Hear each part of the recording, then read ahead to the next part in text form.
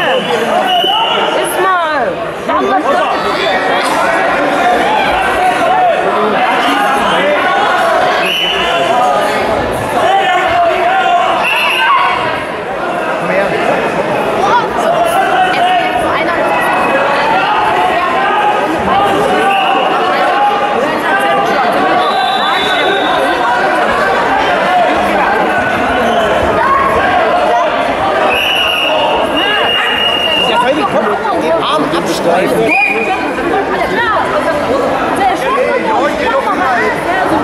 Oder das ist jetzt noch besser, ja.